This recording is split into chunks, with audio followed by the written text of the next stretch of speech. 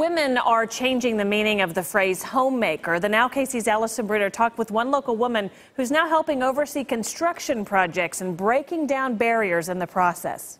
Meet Alex Williams. Her job is anything but glamorous, installing doors, doing siding, Uh, one by six right here, and then this is a cap.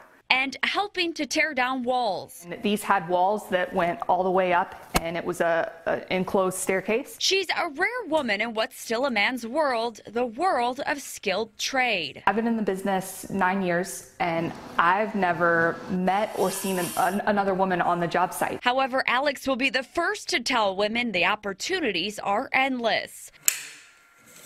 You can come in at the ground, work your way up, and you know the possibilities are endless, and you won't have college debt. She's not just an ordinary crew member, she's also a certified lead carpenter. That's a prestigious title for Alex. That's because right now there are only 275 lead certified carpenters in our country. It's a test that uh, tests us on our knowledge of construction and the practice of construction, and then uh, safety. But some of her dreams are still difficult to find to see more women construction workers. Right now, women only make up 8.9% of construction workers.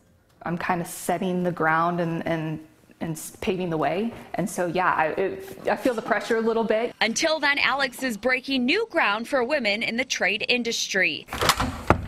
In Kansas City, Alyson Bruder reporting for the Now KC. The top issue facing the construction industry in 2016 lack of skilled workers.